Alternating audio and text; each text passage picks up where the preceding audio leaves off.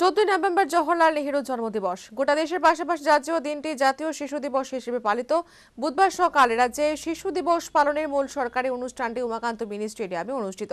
অনুষ্ঠানকে কেন্দ্র করে ব্যাপক সারা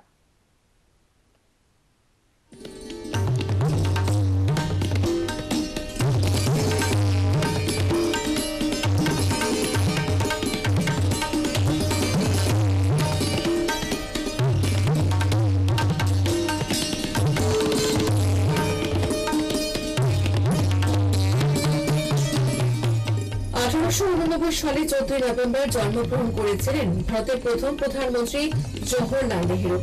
শিশুদের প্রতি যা ছিল অগাধ ভালোবাসা এবং অবদ্ধ স্নেহ। শিশুদের কাছে চাচা নেহেরু হিসেবে অধিক পরিচিত ছিলেন জওহরলাল নেহেরু। আর চোদ্দই নভেম্বর নেহেরুর জন্মদিনটিকে গোটা দেশে জাতীয় শিশু দিবস হিসেবে পালন করা হয়। এবারও এর ব্যতিক্রম হয়নি। গোটা দেশের পাশাপাশি রাজ্যেও দিনটি জাতীয় শিশু দিবস হিসেবে পালিত। রাজ্যে শিশু দিবস পালনের বুধবার সরকারি মূল অনুষ্ঠানটি অনুষ্ঠিত হয়। উমাকান্ত মিনি স্টেডিয়ামে।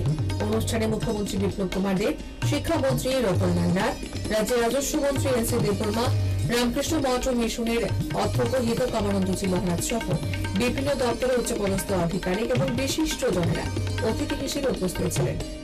বিভিন্ন বিদ্যালয়ের পড়ুয়ারা এদিন সকালে র্যালি করে উমাকান্ত মিনি স্টেডিয়ামে এসে জড়ো হয়।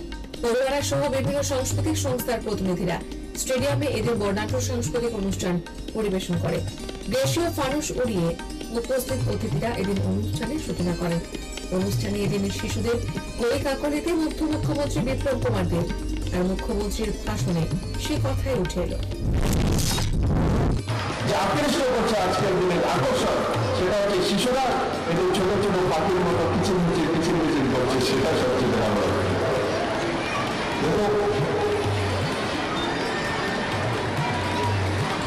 জানি বাচ্চারা যখন স্কুলে থাকে।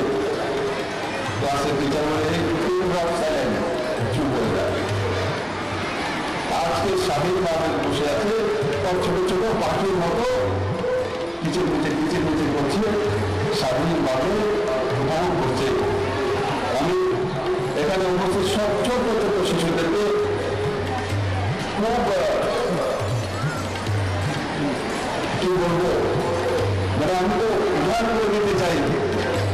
তোমাদেরকে ভাই আমার ছোট ছোট বাচ্চারা শিশুরা কারণ এর চাইতে পবিত্র কোনো কিছু নেই? দুনিয়াতে সবচেয়ে পবিত্র ফুল আর শিশু? যাই হোক মুখ্যমন্ত্রীর ভাষণে এদিন পুরোপুরি ব্রাত্য ছিলেন জওহরলাল নেহেরু। এর মধ্যে নিজ প্রতিক্রিয়া রাজ্যের শিক্ষামন্ত্রী রতনলাল নাথ বলেছেন কোনো মতে যাতে শিশুরা বঞ্চিত না হয় সেদিকে আমাদের সবার নজর রাখতে হবে। কোনো শিশু যেন আজকে বিভিন্ন সময় আমরা দেখেছি। এই শিশুরা কেউ খিদার জ্বালায় পথপথে ভিক্ষা করে, কেউ পথ শিশু হয়ে যায়, কেউ বিভিন্নভাবে তারা বঞ্চিত হয়, সেগুলি যেন আগামী দিনে না দেখি, তাদের প্রতি আমার আমার উদ্দেশ্য থাকবে, তোমরাই দেশ করা কারিগর, তোমরাই সঠিকভাবে তৈরি হও, আমরা তোমাদের সাথে আছি, সমাজ তোমাদের তৈরি করবে, এটাই আহ্বান রাখব সবাই মিলে আমাদের শিশুদের এমনভাবে তৈরি করব, যারা যারা কোনো ক্ষেত্রেই যেন তারা বঞ্চিত না হয় এটা আমার